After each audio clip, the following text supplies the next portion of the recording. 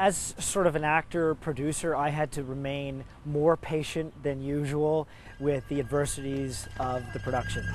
Cold weather, wet weather, I had to be a little bit more patient in order to set an example. So I'm lying down on sub zero concrete in November, things like that. And certainly making a movie in Canada with the weather that we have, doing it over and over again becomes uh, particularly trying.